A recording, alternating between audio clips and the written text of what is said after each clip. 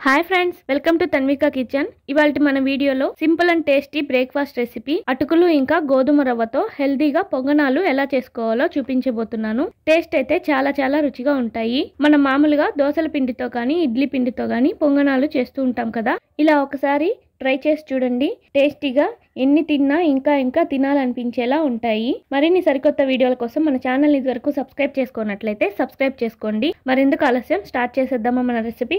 అటుకుల పొంగనాల కోసం బౌల్ తీసుకొని ఇందులో రెండు కప్పులు అటుకులు వేసుకొని దీనిలో నీళ్ళు పోసి రెండుసార్లు శుభ్రంగా కడిగి ఉంచుకోవాలి.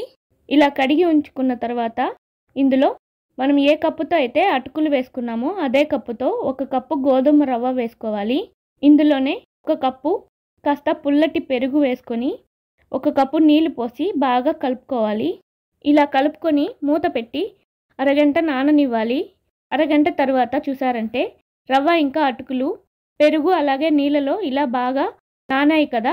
ఇప్పుడు మిక్సీ జార్ తీసుకొని ఈ అటుకుల మిశ్రమాన్ని మిక్సీ జార్లో వేసి కొద్దిగా నీళ్ళు పోసుకొని మెత్తగా మిక్సీ పట్టుకోవాలి. చూసారా? ఇలా మెత్తగా మిక్సీ పట్టుకున్న ఈ బ్యాటర్ని బౌల్లోకి తీసుకోవాలి.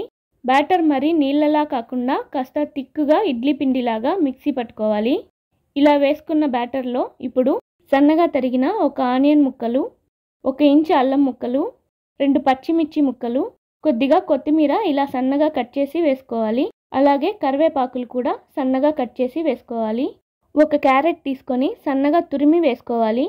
ఇప్పుడు తగినంత సాల్ట్ వేసి ఇవన్నీ బాగా కలిసేలాగా కలుపుకోవాలి. ఇవన్నీ పిండిలో బాగా కలిసేలాగా కలుపుకొని పక్కన పెట్టుకోవాలి. ఇప్పుడు స్టవ్ ఆన్ చేసి తాలింపు గిరిట పెట్టుకొని ఇందులో రెండు స్పూన్లు ఆయిల్ వేసి వేడెక్కాక మూడు స్పూన్లు శనక్కాయ గింజలు వేసి కొద్దిగా వేయించుకోవాలి. ఇవి కాస్త వేగాక ఒక స్పూన్ పచ్చిశనగపప్పు ఒక స్పూన్ ఉద్దిపప్పు ఒక స్పూన్ ఆవాలు ఒక స్పూన్ జీలకర్ర వేసి వీటిని దోరగా వేయించుకోవాలి. ఇలా దోరగా వేయించుకున్న తర్వాత వీటిని ఈ బ్యాటర్లో వేసి కలుపుకోవాలి. ఇలా పప్పులన్నీ వేసి కలుపుకోవడం వల్ల పొంగనాలు తినటానికి రుచిగా చాలా టేస్టీగా ఉంటాయి.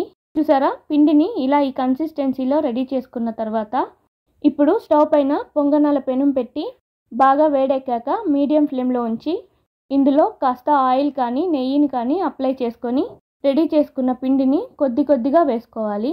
ఇలా వేసుకున్నాక మూత పెట్టి మూడు నాలుగు నిమిషాలు మీడియం ఫ్లేమ్లో కుక్ చేసుకోవాలి.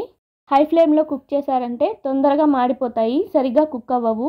ఇలా నాలుగు నిమిషాలు ఒకవైపు బాగా గోల్డెన్ కలర్లోకి వచ్చాక మరోవైపుకి టర్న్ చేసి మరోవైపు కూడా మూడు నిమిషాలు మూత పెట్టకుండా ఫ్రై చేసుకోవాలి. మూత పెట్టామంటే మెత్తగా వస్తాయి కానీ క్రిస్పీగా ఉండవు. ఇలా మూడు నిమిషాల తర్వాత మరోవైపు కూడా గోల్డెన్ కలర్లోకి వచ్చాక ఇప్పుడు వీటిని ప్లేట్లోకి తీసుకుందాం. ఇదే విధంగా మిగిలిన పిండితో కూడా పొంగనాలు వేసి తీసుకోవాలి. అంతేనండి మరి. వేడివేడిగా ఇంకా క్రిస్పీగా అటుకులు ఇంకా గోధుమ రవ్వతో హెల్దీగా టేస్టీగా ఉండే పొంగనాలు రెడీ అయిపోయాయి. వీటిని చట్నీ ఇంకా కారం ఇలాంటి సైడ్ డిష్ ఏమీ అవసరం లేకుండా అలాగే తినేయచ్చు. చాలా చాలా టేస్టీగా ఉంటాయి. మీరు కూడా ఖచ్చితంగా ట్రై చేయండి. ఇంట్లో అందరికీ ఖచ్చితంగా నచ్చుతాయి. మరి ఈ వీడియో కనుక మీకు నచ్చినట్లయితే మీ ఫ్రెండ్స్ అండ్ రిలేటివ్స్కి షేర్ చేయండి. మరిన్ని సరికొత్త వీడియోల కోసం మన ఛానల్ ఇదివరకు సబ్స్క్రైబ్ చేసుకున్నట్లయితే సబ్స్క్రైబ్ చేసుకోండి. పక్కనున్న బెల్ ఐకాన్ ప్రెస్ చేశారంటే నేను పెట్టే ప్రతి వీడియో మీకు నోటిఫికేషన్ వస్తుంది. Thank you for watching.